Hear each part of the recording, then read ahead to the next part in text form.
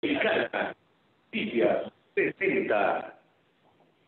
La reforma fiscal 2014 generó más daños beneficios para la frontera. La formalidad de las empresas es una tarea La economía americana avanza La proveeduría maquiladora sigue siendo el La gran pendiente de poder de mercado en México. La transparencia gubernamental continúa siendo talón de para producir altos Las leyes antilavado Solo Negocios Radio, las mejores entrevistas y análisis para lograr una toma de decisiones adecuada. Contáctenos. Correo electrónico. Correo arroba solonegocios.mx Página de internet. www.solonegocios.mx Facebook. www.facebook.com diagonal solonegociosmx Twitter. arroba solo negocios. Y recuerde, no es nada personal, son solo negocios.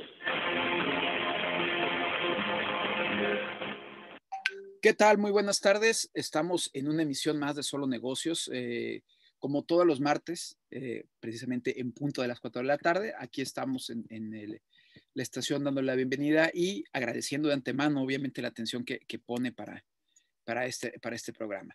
Mi nombre es Manuel García y le doy la bienvenida precisamente a Solo Negocios. Hoy, hoy por cuestiones técnicas no pudo eh, conectarse Luis Enrique, pero que manda saludos como siempre y dice que de toma no está escuchando y lleva la contabilidad del programa para que eh, el, el día, eh, bueno, que, que toque la siguiente semana nos pueda decir qué número de programa es en el que estamos. Pero bueno, eh, hoy, hoy el programa es, es- un programa verdaderamente, créeme, muy ad hoc al- al- a la situación que estamos viviendo ahora con esta nueva normalidad, con esta pandemia, con este caos económico y, y- y obviamente muchísimos problemas que se desencadenaron a, a raíz de, de las medidas sanitarias que se tuvieron que imponer.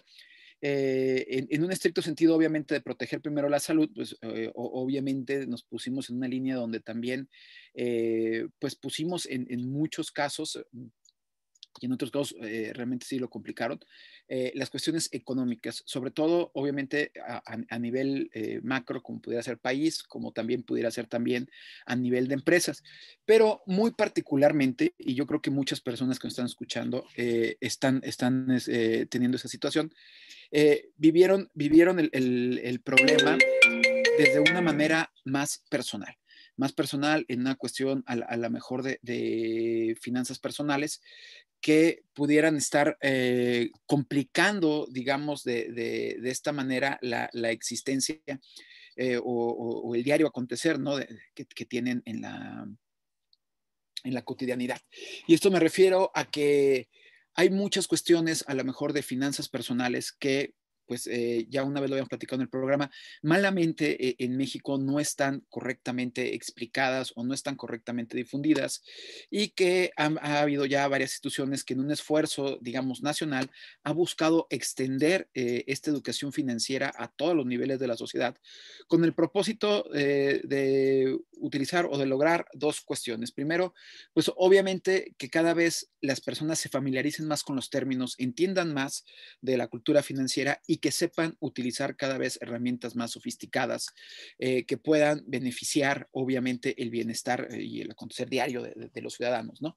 Entonces, eh, en este sentido, eh, pues obviamente sí quisiéramos aprovechar el, espacio en, este momento para poder hablar de algunas de las cuestiones que tenemos, en, en particular de, de educación financiera, algunos consejos, porque en momentos de crisis, y, esto hay que, hay que subrayarlo, es cuando aparecen más eh, supuestas oportunidades o cada vez más, eh, digamos, personas o gurús que dicen ayudar a la persona común y corriente que muchas veces eh, tiene dinero y no saben qué invertir o a lo mejor perdió su trabajo y está buscando una nueva manera a, a lo mejor de, de- ganar el sustento a través de un negocio o a través a lo mejor simple y sencillamente de, de generar esos, esos ya tan comúnmente mencionados que les llaman eh, ingresos pasivos, que ahorita vamos a platicarles un poquito eh, de qué son esos famosos ingresos pasivos, pero que el 90% que lo dicen la gente son timos. O sea, al final del día, no, no, no quiero decir que, que no existan eh, unos ingresos en los cuales uno no tenga que mover un solo dedo para que lleguen.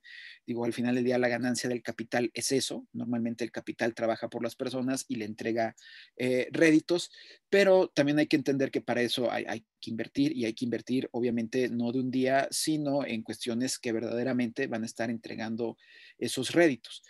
Ha, ha, habido muchos casos que hoy en día empiezan a normalizar esas palabras como ingresos pasivos, como si fuera algo tan sencillo o que se lograra simplemente de la noche a la mañana con una buena intención, dándole dinero a una persona y que esa persona mágicamente va a entregar retornos en cuestión de días, ¿no? Porque además es así, o sea, te, te prometen ganancias eh, grandes en, cortos plazos y eso sabemos que no existe, al menos no existe en el mundo real. Eh, obviamente cuando eh, les ofrezcan o les o los inviten con una... A, a, lo mejor una inversión que, que, que, va a ser a lo mejor con un rédito muy alto, significa que el riesgo también es muy alto, ¿no? Y ahí viene. Entonces, bueno, también esos son algunos consejos que vamos a decir hoy. Eh, ya no tarda en conectarse también Luis Enrique, nos está diciendo que, que ya, ya, ya, aquí está solucionando estos problemas y en cualquier momento llega ya aquí el, corriendo virtualmente al, al, al, programa, ¿no? Entonces, bueno, continuando en estas partes, miren, yo, yo sí eh, quisiera comentarles varios puntos que sí, en, realidad considero que son muy importantes y que a lo mejor se nos están yendo eh, como mexicanos o a lo mejor que no nos explicaron malamente o, obviaron en las escuelas y que después le dejaron las tareas a las abuelitas y, y, hay que decirlo así, las abuelitas son las que terminaron educándonos a veces financieramente no de la mejor manera. De tal manera, uno de los, eh, de los elementos que salen peor parados a lo largo de la historia de la educación financiera es el crédito. Eh, antes de entrar al programa, estábamos hablando precisamente con, con, Alejandro Sandoval de este eh, de esta figura, ¿no? Del crédito que todo mundo sabemos que es el crédito, todo mundo hemos accedido de alguna u otra manera en sus distintas, eh, eh, este, digamos, aristas que pudiera tener eh, a, a, alguna figura de crédito. Sin embargo, en México parece ser que, que, el endeudarse es un pecado y es un pecado mortal, al menos es lo que nos han dicho siempre las abuelitas. Yo, yo recuerdo que, que, en mi casa, eh, sobre todo mis abuelitas decía, si no tienes dinero, no compres o no puedes comprar porque si te endeudas, o sea, es lo peor. Y luego, pues obviamente se terminan haciendo este tipo de comentarios que se hacen al, interior de las familias, convirtiéndose en normas como si realmente el crédito fuera algo dañino para una persona eh, este, y también para las empresas, sin eh, darnos cuenta que el crédito ha ocupado a lo largo de la historia un papel principal sobre todo en el progreso y en el crecimiento de las civilizaciones, porque obviamente no podríamos estar teniendo lo que tenemos si no hubiera figuras que permiten el financiamiento, el financiamiento en distintas maneras y en distintas formas. Sin embargo, eh, para acceder al crédito, obviamente, pues eh, se, se, requiere de algunas... Eh, de algunas cuestiones o algunos conocimientos básicos que sí quisiéramos comentar en el programa para que se empieza a quitar ese estigma de que primero los bancos buscan robar y dos, que el crédito es, eh, eh, digamos, un robo, eh, vamos a decirlo, eh, legal para, para los, las personas que lo solicitan. No es ni una ni otra. Digo, al final del día, eh, este, los bancos se dedican a colocar precisamente créditos. Bueno, yo sé que si Luis Enrique estuviera aquí, eh, me diría que no, porque obviamente la figura de los bancos en México a veces sí ha estado un poquito, vamos a decirlo, manchada por algunas cuestiones eh, do, donde sí ha habido abusos, hay que, hay que reconocerlos, hay que reconocerlos, y no necesariamente en el crédito, sino a veces en las comisiones. O sea, México yo creo que si algo tiene es que tiene una larga historia eh, de una relación de amor-odio con los bancos, pero lo importante hay que ver aquí no tanto eh, esa historia, sino más bien esas figuras de crédito que una persona común y corriente o un empresario que, que requiere a lo mejor un financiamiento pudiera acceder a esa, a esa figura de crédito. Y, primero quisiera hablarles de este crédito como quitando ya la parte del, del, del, velo de ese misterio donde van a llegar a quitarte tus ahorros o tu trabajo futuro, hay que verlo como que es realmente dinero, una mercancía como cualquier otra, que te van a estar prestando a cambio, obviamente, de que tú pagues unos intereses y, y que esos intereses, eh, evidentemente, eh, con el tiempo, pues, van a ser la ganancia de, de, de, la persona que te lo prestó.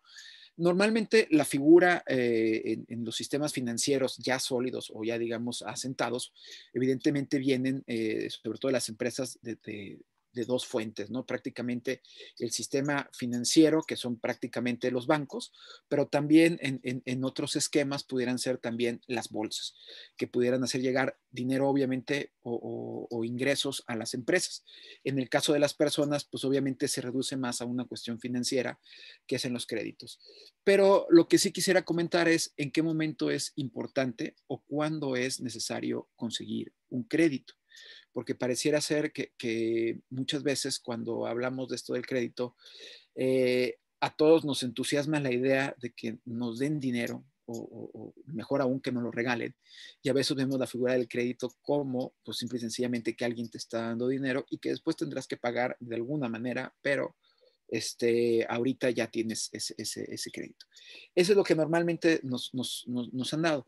La, realidad es que los créditos son buenos y siempre van a ser buenos en la medida que nos van a ayudar a alcanzar, obviamente, eh, productos o a, a lo mejor bienes que son de larga duración.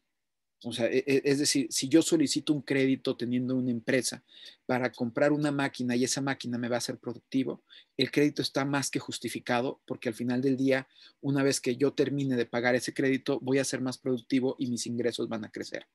De otra manera, a lo mejor si hubiera tenido que ahorrar a lo largo de un tiempo para poder comprar esa máquina, tal vez hubiera perdido la oportunidad que, el mercado me estaba ofreciendo en sus momentos.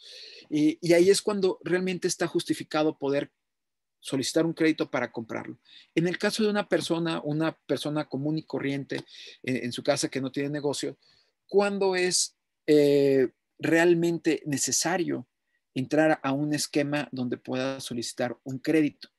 Un crédito, bueno, pues e, es el mismo principio que pudiera operar en las empresas cuando vamos a comprar un bien duradero que obviamente va a representar a lo mejor un ingreso en mi patrimonio, ¿sí? O va a ser a lo mejor, eh, o va a generar un bienestar dentro de, mí. ¿A, qué voy? ¿Cuándo pudieran ser? Bueno, puede ser un crédito hipotecario cuando vas a comprar una casa y al momento de comprar una casa, pues ya no tienes que recurrir a lo mejor a rentar. Y eso eh, eh, evidentemente se convierte en un capital que te da una ventaja sobre la persona que no tiene casa. Ese pudiera ser uno.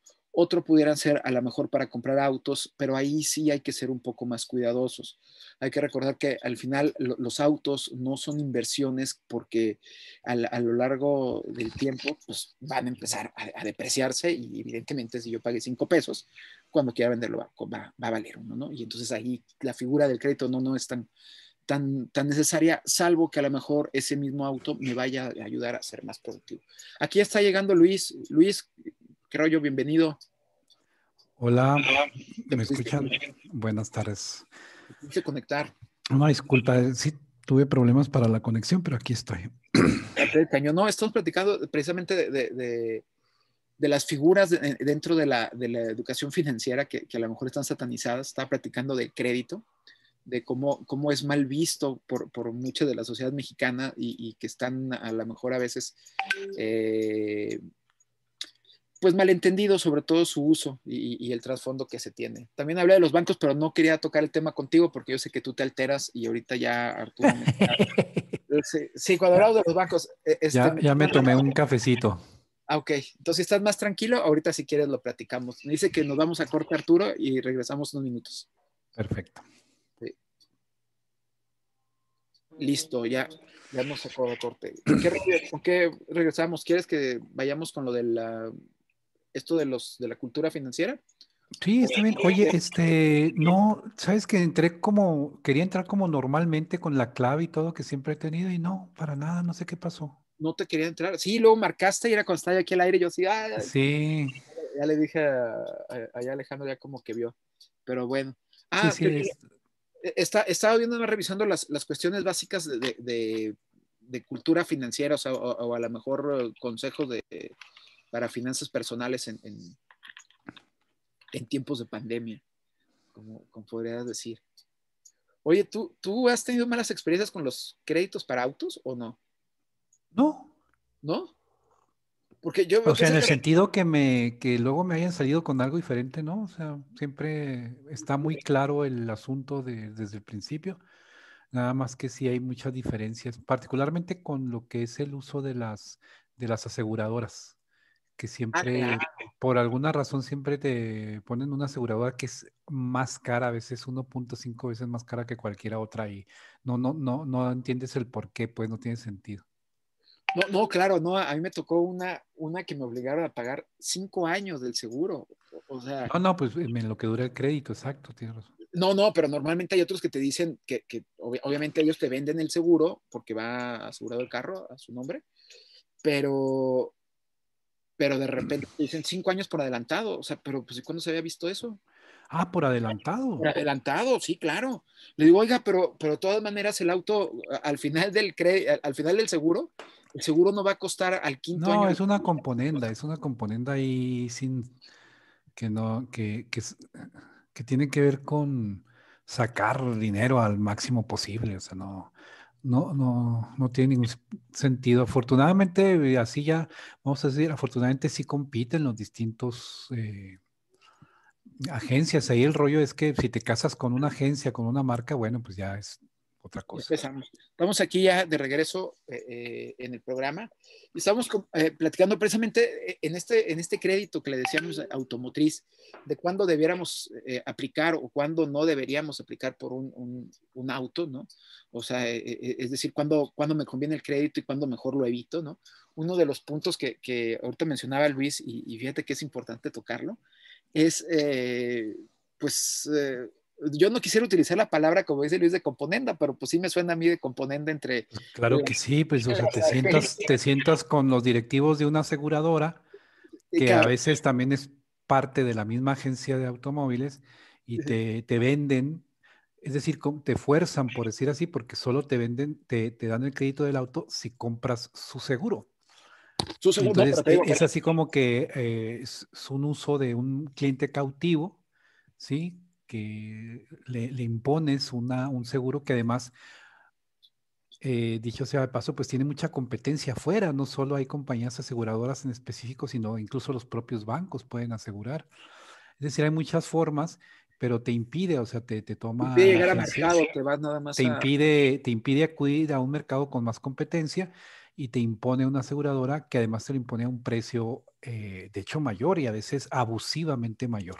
Sí, de hecho, a ver, para, poner en contexto de, lo que estamos hablando, cuando uno solicita un crédito automotriz y va a ver su carro y, obviamente llega al acuerdo, una de las condiciones o bueno, uno de los requisitos que, va a pedir la agencia, obviamente, para poder otorgar eh, el auto y obviamente, eh, bueno, más bien el, banco que, vaya a otorgar el crédito es precisamente un seguro porque esto le va a garantizar el, bien. O sea, en el caso de un crédito hipotecario, pues el, seguro o, la protección es, el la casa prácticamente, pero en el caso del automóvil, pues obviamente hay un seguro en caso de que hubiera algún accidente, la aseguradora le pagaría al banco o a la persona que está, digamos, otorgando el crédito y el restante se le daría a la persona que, sacó el crédito, ¿no? Y entonces lo que estamos comentando es que muchas veces hay, hay, hay, un arreglo o como dice Luis, componenda entre el banco que está otorgando el crédito o la... No, no, pero normalmente no es con el banco, el banco sí tiene opciones. Eh, eh, tú sí puedes llegar a un banco y tiene varias opciones de, de, de. Normalmente es cuando tú acudes a la a la agencia y a través de su propia financiadora, porque también tienen sus propias financiadoras las agencias. Cuando eso ocurre, te imponen un, un, seguro y, además, eh, como le comentaba ahorita Luis, eh, en ocasiones te, imponen comprarlo por adelantado por la vida del crédito. Cosa que, es decir, eh, normalmente vamos a poner que valga 8 mil pesos el seguro. La verdad es que son abusos, pero también hay que reconocer que, que, bueno, la mayoría de los clientes que van a acudir a un crédito también tienen opciones de crédito fuera de la agencia. Es decir, ellos sí pueden acudir al banco donde pues tendrán algún depósito, alguna cuenta de ahorro y a través de eso se garantiza y se facilita el crédito a, a un cliente para acudir él a su vez a una agencia a pagar. Es decir, si hay opciones, pero pues utilizan su, su fuerza, por decir así, eh, eh, entre comillas, pues sí de monopolio, pero por la marca, pero sobre todo que el cliente llega a la agencia y ya no quiere eh, tener más, más, costos de tiempo, de tramitación, de lo que sea, y dice, pues aquí me quedo ya de una vez aquí lleno todo, ¿no? Los papeles, los trámites. Y entonces sí, y el, el, cliente también puede, pues desconoce, varios de ellos desconocen eh, que los precios de una aseguradora eh, que está este, junto con el crédito de la, de, la, de la agencia, pues son muy altos, los desconoce, es decir, los asume y como finalmente se lo, incluso se lo, a veces se lo financian dentro del mismo eh, paquete de financiamiento de todo el automóvil, pues bueno, él ya dice, esta es la mensualidad y aquí me quedo, esto pago. ¿no? Y ya se va contento con un carro. Exacto, exacto, exacto, eso es, es porque eh, así es, definitivamente. es más fácil, eh, seguramente, el trámite además es más sencillo dentro de la agencia que en el banco, ¿no? También son cuestiones así que luego eh, permiten a una agencia de, que vende automóviles pues aprovecharse Claro, de, de, de, esa situación. De la situación. De hecho, entonces, cuando usted vaya a solicitar uno, fíjese muy bien, además de las tasas, obviamente las condiciones del seguro, porque además hay que decirlo que aunque estén casados con una sola marca o, muchas veces no están con una marca, sí lo están con algunos servicios y, normalmente te van a ofrecer el más caro en la primera instancia. Si uno no pregunta, pues entonces obviamente te vas a ir con, con, con una de esas situaciones que, Sabes que yo sí supe de un caso, ¿eh? que, les vendían unos créditos, que digo, perdón, unos créditos, unos seguros, que, que en apariencia, o, sea, hasta uno le, gustaría tener un incidente, ¿no? Porque casi, casi te, te, te, consienten y todo, y te llevan este, un refresco y, bueno, mil cosas que te prometen. Pero, pero la realidad de las cosas es que hay que verlo que el dinero no crece en los árboles y si ellos te lo están ofreciendo es porque saben que es poco la probabilidad de que tú lo vayas a, utilizar, al menos en esos costos. Nadie, nadie se va a dar un seguro que, que, vas a tener que utilizar todos los días, ¿no? Que vas a tener que, que, pagar. Pero bueno, esa es una de las cuestiones. De todas maneras, el carro, pues el carro si no, si, si le funciona bien, pues obviamente no esté cambiando cada año, especialmente en, estas, en estos momentos. ¿Cómo anda la tasa ahorita de la, de la automotriz? ¿Tú recuerdas? Bueno, llegó a estar eh, cuando las tasas estaban más elevadas en el 19, 18, 19, llegó a estar hasta el 15, 13 por 13, 15% en el rango. Ahora están mucho más bajas, están como 4 o 5 puntos más abajo. Puedes encontrar créditos al 10%, por ejemplo, sí, e, en eso está. Que para hacer un crédito para un bien de consumo, en este caso duradero, pues está relativamente, relativamente bien, ¿no? Claro, sí, porque hay que, hay que reconocer que los bancos tienen sus, sus, tipos de créditos, que el hipotecario es de los más baratos. Sí, no, no, nos, no nos va eh, a suceder lo que, por ejemplo, en Estados Unidos, que incluso hubo, hay todavía ahora, bueno, la tasa es bajísima para la compra a crédito de un automóvil, pero llegó a estar hasta en cero propiamente, o sea, era cero financiamiento, tasa cero. Pues Con tal de vender el automóvil, claro, pero eso no ocurre en México porque se utilizan muchos, vamos a decir, eh, artilugios y, vuelvo a usar la palabra, componenda para, para poder sacar lo más posible. No ocurre porque por eso y, además porque las mismas agencias de alguna manera no, no se atreven a competir con más fuerza, ¿me explico? Si no, eh, claro que las tasas de interés estarían incluso más bajas, ¿no? Las, eh, las, los beneficios de comprar un automóvil, en este caso un automóvil nuevo.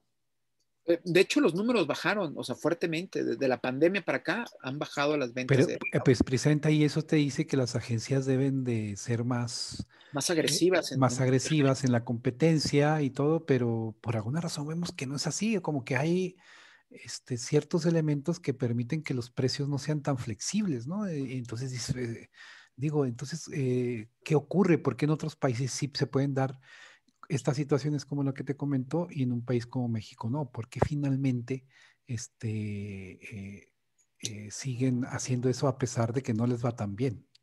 Claro, no, y, de hecho les iba muy bien, ¿eh? O sea, estos años, a pesar de que las tasas están más altas, las ventas empezaron a tener unos repuntes interesantes el 2018-19.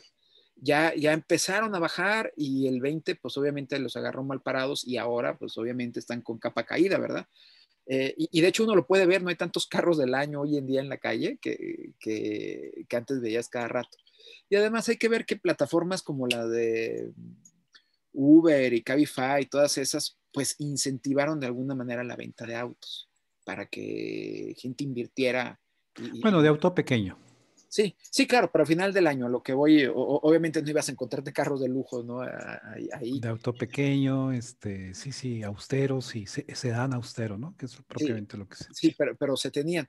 Y, y antes, pues, eh, pues tú bien sabes, México no ha sido, digamos, un país consumidor de autos nuevos, no, no, no en los niveles de Estados Unidos y Canadá. No, evidentemente no, pero sí, sí se dio una etapa muy importante y de hecho en la frontera se, se dio hace ya años algo sorprendente que empezó la población o en general, bueno, ciertos grupos de población a comprar el automóvil nacional, lo cual no era tan común. Eh, sí, que se, se compraba el auto que luego o ya fronterizo o se legalizaba y era, eso era lo común. Sí, era extraño ver a alguien con, entre comillas, con un auto nacional.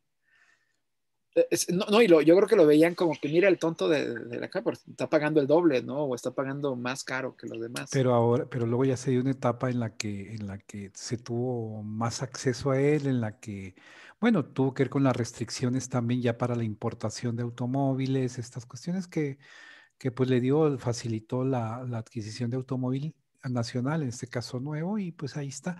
Eh, es importante decir que la industria automotriz, por eh, todos los encadenamientos eh, verticales que tiene el proceso productivo, es, es muy, eh, crea pues un efecto multiplicador y una dinámica a la economía pues muy, muy fuerte, pues muy intensa.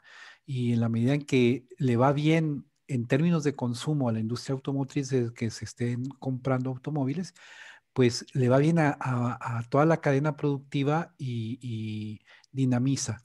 Obviamente, eh, también hay que hablar que el consumo en sí mismo no es, no es necesariamente bueno, porque estamos hablando todavía que en México, a pesar de que eso empieza a cambiar, pues es de automóvil de, que consume gasolinas, ¿no?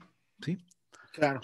Entonces, eso tiene que ir cambiando porque, bueno, eh, consumir un automóvil como bien decimos en economía, tiene una externalidad negativa que no pagamos quienes compramos un automóvil y lo usamos. O sea, estamos contaminando y estamos contaminando para todos, incluso para quienes no usan un automóvil y no, o no tienen o no lo usan. Y, entonces, eh, pues esos costos pues no están incluidos dentro de lo que es el costo de un automóvil.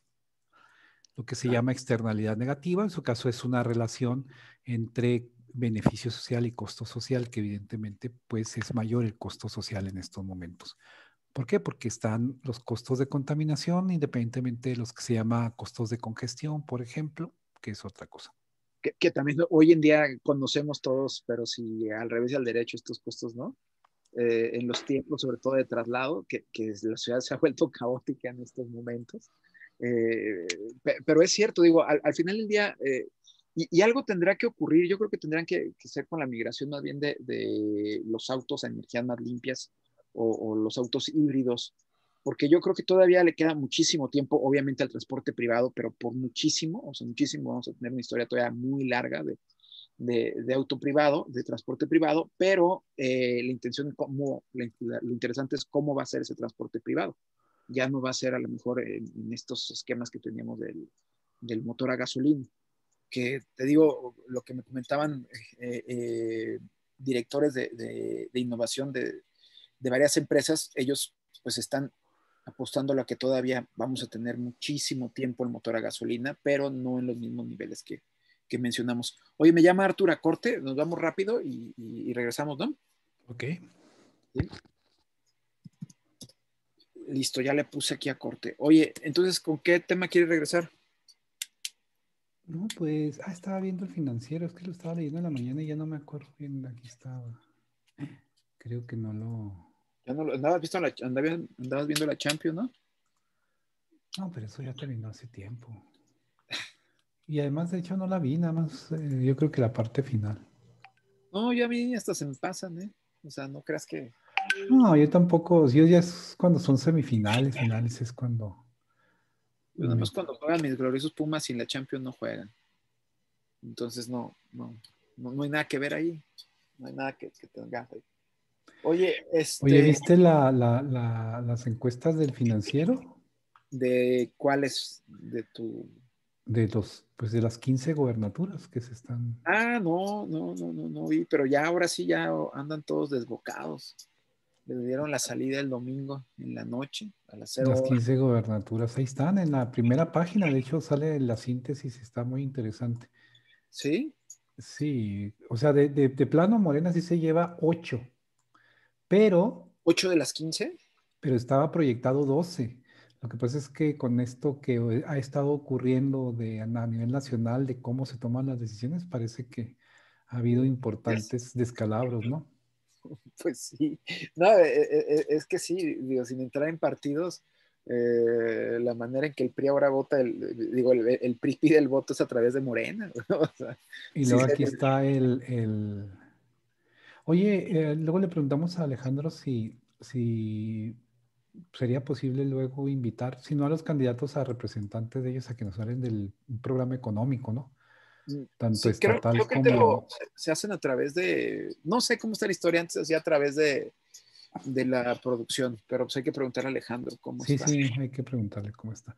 Y en, en, el, en, Chihuahua, eh, pues persiste el empate técnico porque ¿Chihuahua? yo antier estaba conociendo una encuesta más o menos seriezona que ponía a Juan Carlos Loera en el 41% y a Maru 38, 39. Y ahora la, la, encuesta del financiero la pone allá con 41 y a Juan Carlos con 39. De hecho, ese es un empate técnico, no, no, no se han despegado, no creo que se despeguen. Por lo pronto, en los primeros dos semanas no se van a despegar, va, va a ser una contienda muy, muy, muy cerrada.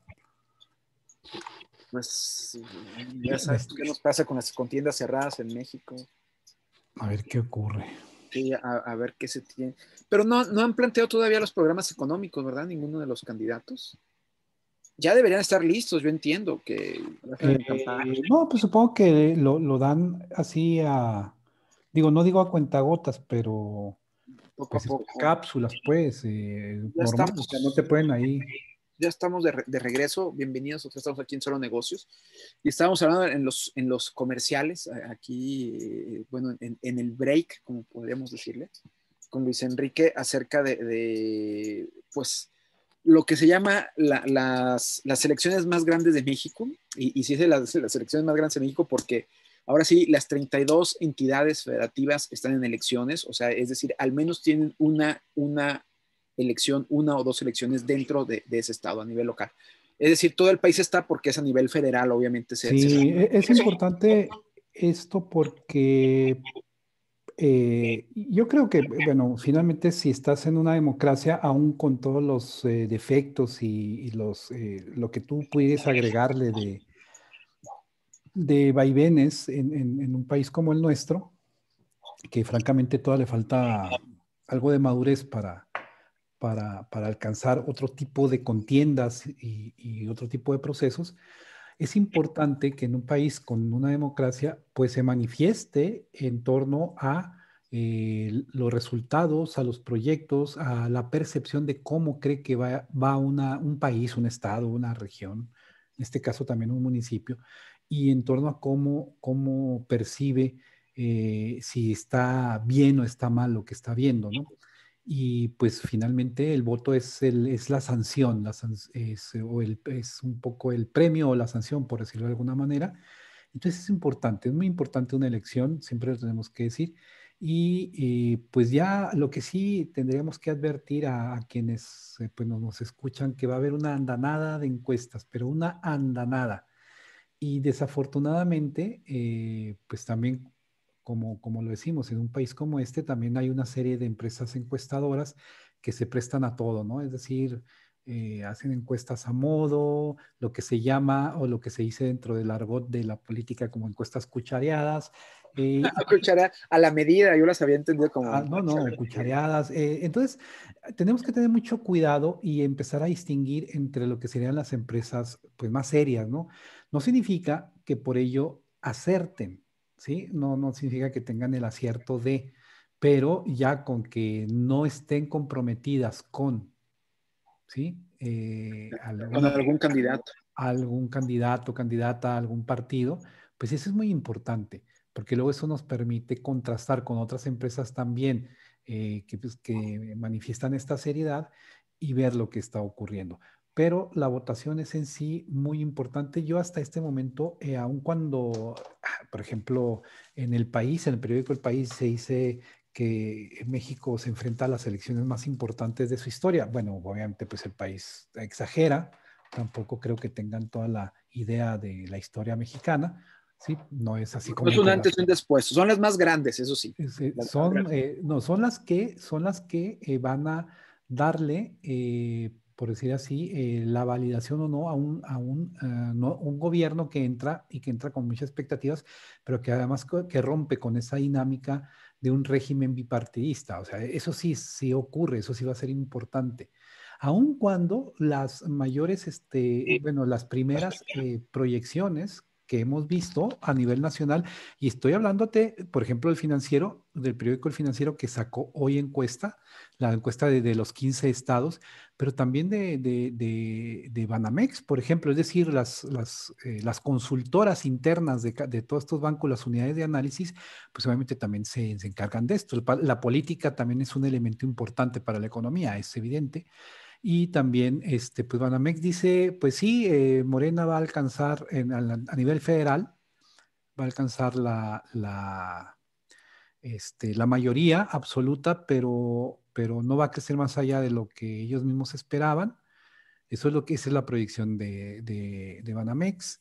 Eh, y va a perder varias de las legislaturas, la mayoría de las legislaturas eh, que tenía, porque tenía mayoría en las legislaturas locales. Creo que si mal no recuerdo, tiene 15 mayorías en las legislaturas locales, dice que las va a perder a, tener 12, pero las varias encuestas a nivel nacional estiman que el, que el voto eh, va a, a nivel de los estados, a nivel de elección de gobernador, gobernadora de, cada uno de estos estados que están en elección, eh, va Morena, el, partido de Morena va a tener entre 8 a 10, a 10 gobernaturas.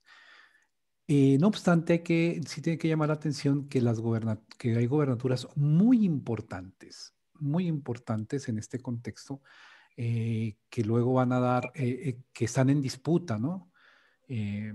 y bueno, lo tenemos que decir así, no es lo mismo ganar una gobernatura en Colima que una gobernatura de Nuevo León. O sea, tienen distintos pesos, es normal, o sea, tampoco, e, eso no, no demerita a nadie, pero en, ya en términos de poder real, pues ahí está. O la misma Ciudad de México, ¿no? Sí, y bueno, lo que sí es eh, que, por ejemplo, Nuevo León está en disputa, ¿sí? Mm, claro.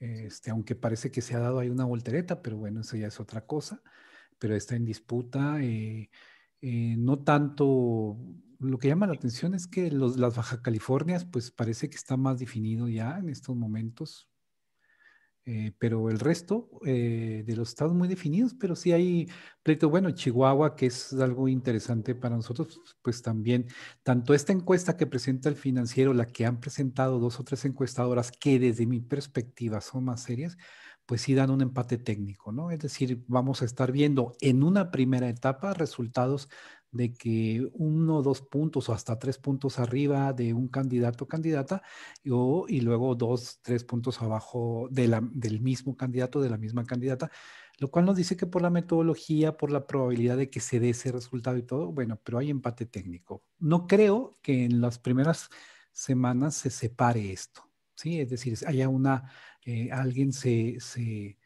eh, este, se separe del resto de los, de los y las candidatas. En el caso de Chihuahua, sí, o sea, que vayan alguien a despuntar y de ahí ya nadie lo mueva, ¿no? Exacto, todavía no, no veo eso todavía en el corto plazo, eh, pero la verdad es que están ocurriendo cosas eh, que, bueno, que ya son propiamente, bueno, a veces hasta judiciales, pero a veces de la política propiamente, que están minando, por decir así, este, la imagen de partidos y de candidatos o candidatos. O sea, creo que ahorita todo el mundo le está tocando, ¿no?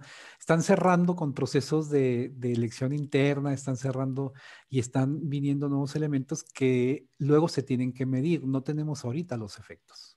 Claro. No, y, además alguien, yo creo que el ciudadano común lo, percibiría como algo muy turbio en el asunto en que el que era priista ahora es panista o el que es panista ahora es morenista y andan brincando de un lado a otro, pero yo creo que el contexto es muy sencillo, nada más hay dos bloques prácticamente, los que están a lo mejor con, el partido oficial, aunque... Es que aquí hay dos formas de verlo, en Chihuahua el partido oficial es el PAN. Ah, bueno, no, no, yo digo a nivel nacional, el partido oficial contra el no oficial, o sea, es decir, prácticamente son dos bandos, aunque pudiéramos estar partiéndolo en muchísimas, en muchísimas... Eh, eh, este... Sí, pero, pero yo, yo, yo, yo, digo, es importante, qué bueno que, bueno, obviamente como está, eh, estamos en una democracia y que se manifieste la población. Hay muchos dimis y diretes en las redes sociales de que, como te lo he dicho, desde la tragedia y, y la catástrofe hasta el paraíso y y el, y el maná. Entonces, eh, vamos a decir, bueno, pues eso, e, esas son las polarizaciones, yo diría, pues normales dentro de, de, las redes sociales, en donde pocas veces se dan discusiones serias, sino pues son así como entre disparates y, dimes y diretes, pero este, lo importante es que la población ya se manifieste en una urna, lo haga, y ahí es donde se ve, o sea, que si la población está a gusto, si está eh, bien con un proyecto, pues lo manifiesta, si no lo está, pues también lo manifiesta ya. y, además es lo más sano, digo, al final del día, ni uno, yo creo todos los partidos hay pillos, en todos los partidos hay gente buena, o sea, no hay... Sí, no sí, no, no debemos, eh, yo sí creo que no debemos eh, hacer esas generalizaciones, menos ahora, cuando cualquier partido que acusemos o de que es prácticamente representante de la maldad, por ejemplo, o cualquier partido que, que, nos digan que es representante de, de, no sé, de la divinidad y de lo mejor que puede suceder en la tierra, eso no existe. O sea, esos son discursos eh, que no tienen sentido para una discusión seria. Claro, sí, digo, al final en todos hay gente buena y gente mala, eh, en, en, los dos, bueno, no en los dos. Pero finalmente hay proyectos, eso sí es interesante, hay proyectos y dentro de los proyectos pues hay eh, se, ah, eh, se, ejecutan en cierta medida y tienen resultados. Eso es lo que asumo fuera, esperemos, lo que, es lo que debe de considerar la población, o sea, cómo ve el proyecto, sus resultados o las posibilidades de resultados de otros proyectos, eso es normal. Y no que si te cae mal alguien, que si no te cae bien alguien, que, es decir, yo, aunque pues cada votante es un mundo y es un individuo y tiene la libertad de hacer lo que guste lo que guste dentro de este. Así es, puede hacer eh, con su voto lo que guste. Claro, eh, eh, yo digo que eso al final es lo importante, que, que, se haga esto en la mejor, digamos, armonía, al final que gane quien tenga que ganar, como tenga que ganar, con los proyectos que le hayan visto o no le hayan visto, no sé. pero, pero en este marco yo creo que sí es importante que en, dentro de este programa pues estemos platicando de, de, sobre todo de las principales proyectos económicos que se tienen para la región. Yo creo que sería algo, pues, Además de que bueno, sano, que aquí lo... Para usarlo y analizarlo de una manera seria, fuera de... Sí, todavía es como pronto, es decir, están iniciando lo que son las campañas eh, estatales y, dentro de pronto iniciarán las campañas locales, pero eh, bueno, ahí sabremos qué se, qué, cómo se ve a la ciudad como economía y qué se quiere para la economía de, esta ciudad, por ejemplo, y del Estado, claro.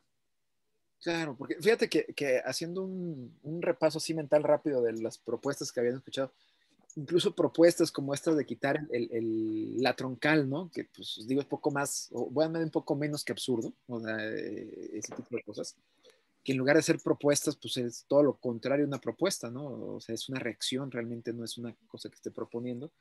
Eh, debería pensárselo más el, ciudadano porque pues lo que está haciendo el político que venga a prometer ese tipo de cosas es nada más querer hablar al oído para prometer cualquier cosa con tal de llegar al poder. O sea, sí, tenemos que tener mucho cuidado con, las propuestas. Yo creo que sí. Eh, francamente, eh, yo, yo, sí creo que estamos en el contexto de, por decir así, de mucha impunidad discursiva. Es decir, que que el político puede decir lo que quiera, prometer lo que quiera y luego no lo castigamos pronto, ¿sí me explico? Ese es el problema de, una, de un eh, eh, tipo de gobierno como el que tenemos en general, que, dura tres años, seis años. No es una democracia parlamentaria en donde continuamente está sujeto un gobernante, una gobernante, a, voto de censura, es decir, a, sacarlo. Esa es una democracia parlamentaria. Eh, incluso las promesas se tienen que sostener porque muchas veces llegan no eh, con el voto de su, del partido, sino con, la, con el acuerdo con distintos partidos para tener una mayoría en el Congreso. A mí me parece que la democracia parlamentaria es la mejor, sí, porque además no hay nada, no es el toma, tomo, eh, toma todo, incluso aunque ganes con el 51%, tomas todo, y no es así, no debe ser así. O sea, un, gobierno debe ser la expresión de todas sus fuerzas, la expresión real. Y bueno, pues así está. Oye, está mandando aquí a corte, al último corte. Artur, vámonos y regresamos rápidamente. Mm, ¿Sabes que, eso que, mencionas, Luis, eh, al, final, yo creo que el, mexicano se nos ha olvidado muy feo, porque entendemos, o al menos a mí me da la impresión de que percibimos la democracia como el gobierno de la mayoría, cuando debería ser la democracia el gobierno que respeta también las minorías o que incluye a las minorías incluso en comentarios de, ahora cuando AMLO pues eh, le vetaron el proyecto, eh, la ley de, esta, de luz y fuerza, bueno, de luz y fuerza de la CFE, la, ley de energía eléctrica, había voces que decían, ¿y quiénes son los jueces y quiénes votaron por ellos? O sea, así de eso, es decir, yo voté, gané la mayoría y entonces puedo hacer lo que se me pega la gana. Cuando no es así, no es así. Claro, pero, pero cuando ya sean situaciones en donde las mayorías no son tan claras, eh, ah, entonces eh, ya llegas porque, no, porque, bueno, alguien puede ganar con el 35% de los votos, con el 40%. No, claro, ya, ha ocurrido muchas veces en nuestro país. las democracias eh, parlamentarias lo que hacen es, bueno, tengo el 40%, pero me obligo a tener más del 50%, entonces llego a acuerdos con otros partidos y el programa de gobierno se, se, se, eh, se acuerda, ¿sí? Y se tiene que seguir. Eso es importantísimo, que tú mantengas la promesa.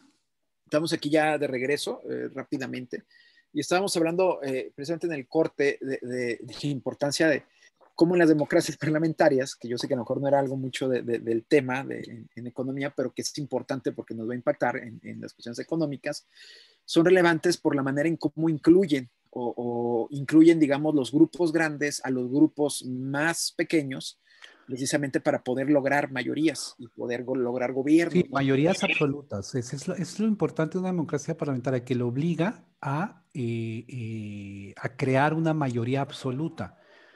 Eh, estamos viviendo una etapa, pues sí confusa, como tú dices, con esto de los cambios de partido, sí extraña. La verdad es que eh, parece que hay cosas que son inexplicables, pero lo que sí es que estamos viendo una etapa también de mucha competencia, en donde las mayorías absolutas no se alcanzan. Claro. Si es, eh, por ejemplo, el presidente López Obrador en el 18, pues alcanza una mayoría absoluta con el 53%, ¿sí?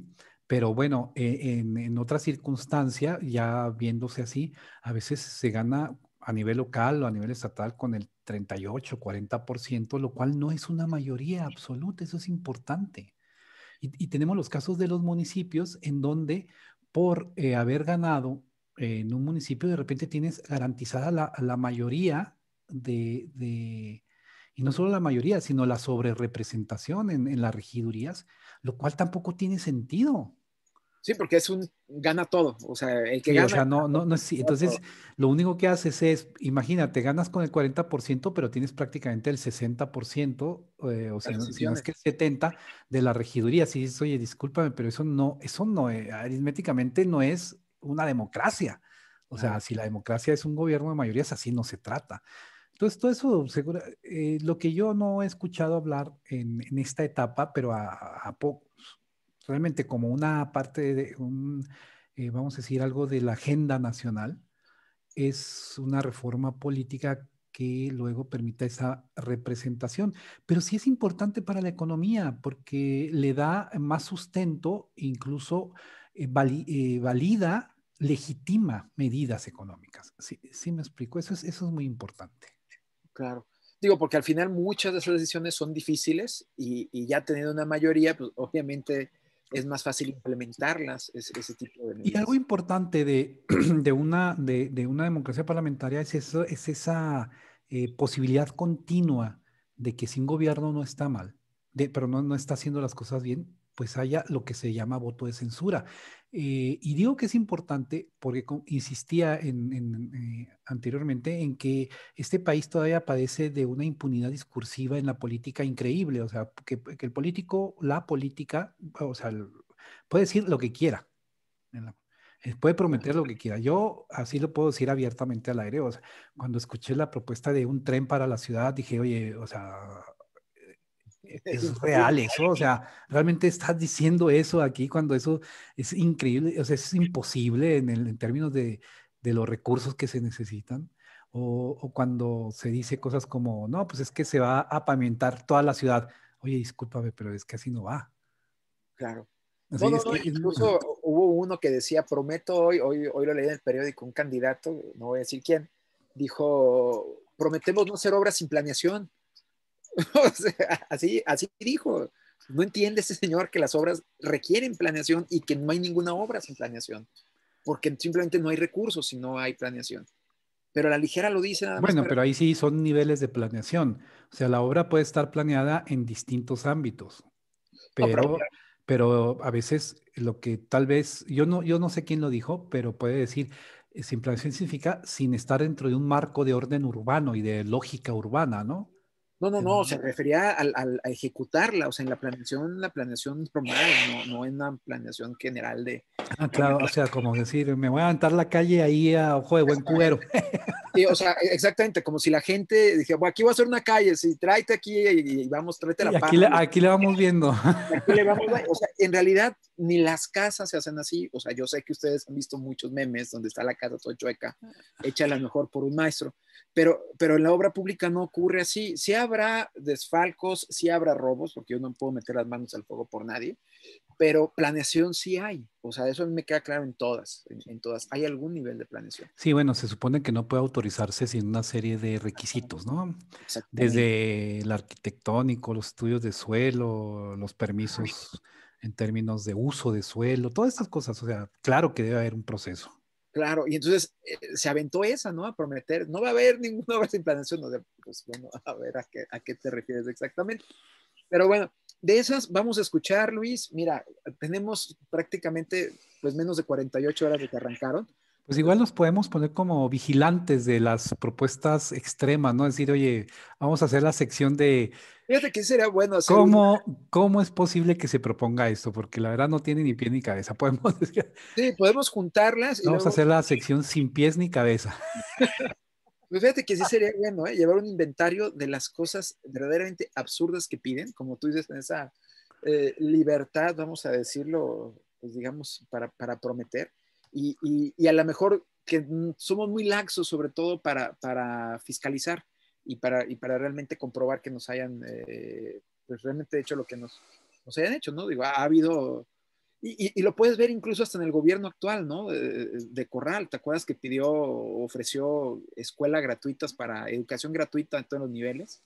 Y, y le duró la propuesta pues dos días de gobierno, ¿no? Cuando su propio secretario le dijo, es que eso es buena intención nada más. Sí, eh, pero es lo que digo, que, que desafortunadamente hay eso, esa impunidad discursiva, yo creo que podemos usar ese término en los próximos este, dos meses, hay mucha impunidad discursiva, porque no hay ese castigo, o sea, finalmente si ganas y no cumples, finalmente el castigo viene hasta dentro de tres años o seis años, Sí, la verdad, y la verdad es que el castigo tiene que venir inmediatamente porque no estás cumpliendo lo que dijiste. Entonces, ¿qué tipo de democracia te garantiza eso?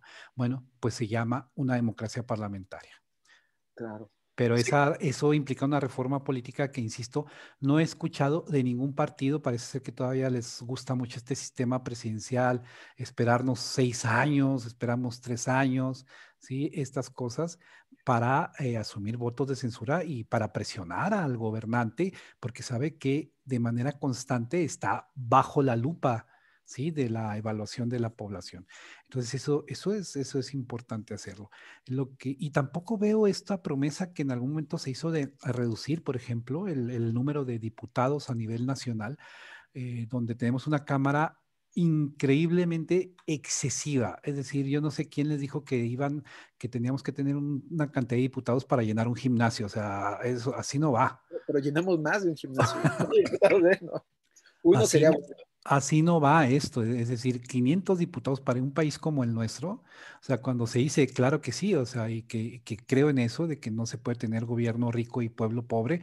Bueno, eh, la Cámara de Diputados es un gobierno rico y está desproporcionado, es desproporcionado el gasto que se genera ahí y el número de representantes. O sea, tendríamos los mismos resultados, estoy seguro de eso, con por lo menos con 100 diputados menos. Tendríamos los mismos resultados que tenemos ahora.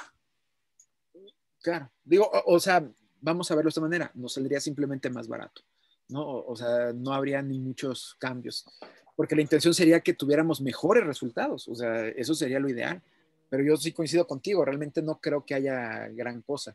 Y además, digo, si agarramos sobre todo en, los que son los pluris, en los famosos pluris que empezaron a decir que querían quitar y no quitaron, eh, y si realmente hiciéramos un recuento de quiénes han sido los pluris a lo largo de la historia, Luis, yo creo que de verdad ni, ni, Disney ni en Disney hay un desfile de esa magnitud, ¿no? Empezando por, por, digo, pasó Silvia Pinal en algún momento, pero ella fue senadora, no era, no era, no era diputada. Eh, este, Carmen Salinas, doña Carmelita Salinas, ¿no? Por ejemplo. Bueno, eh, pero a ver, eh, a ver, a ver. Yo no, aun cuando sí se preste a, chiste y aun cuando, bueno, estamos viendo que hay un, como un, eh, eh, se acude de manera excesiva a personajes famosos, pues debemos de recordar que el país más poderoso del mundo tuvo un actor como presidente. Sí, pero, pero a ver. O sea, a ver. Y no, y no, ha sido un actor, han sido varios actores en diferentes figuras, por ejemplo, exacto, exacto. es decir, de voto directo. E, e, eso es primero. Y segundo, que, bueno, en, este país todo el mundo tiene derecho a votar y ser votado, salvo excepciones.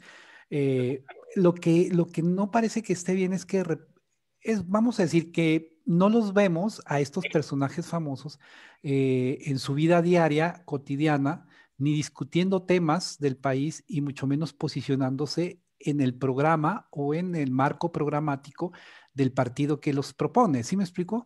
Sino que es más bien un uso más pragmático es, una lógica más pragmática de los partidos y esto eh, también tiene a confundir, confunde el que se estén cambiando de un lado a otro y también confunde el que de repente haya personajes famosos que en su vida han manifestado una posición política, ¿sí? Y de repente ya están hasta enarbolando todo a, a todo un movimiento.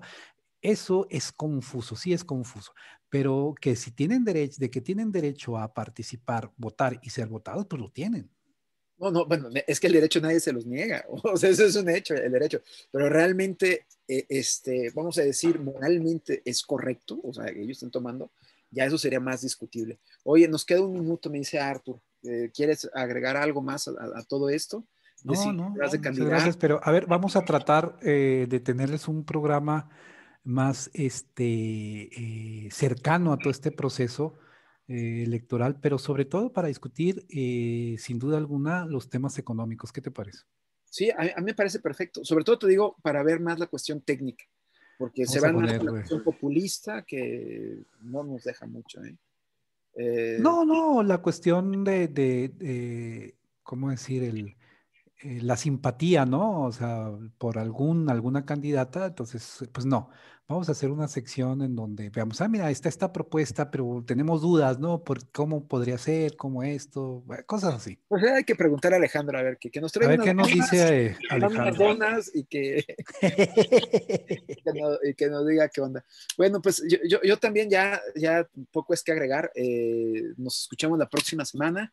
Eh, precisamente en este mismo horario. Y mañana, Alejandro, otra vez en este espacio de 4 a 5. Muchísimas gracias y hasta la próxima.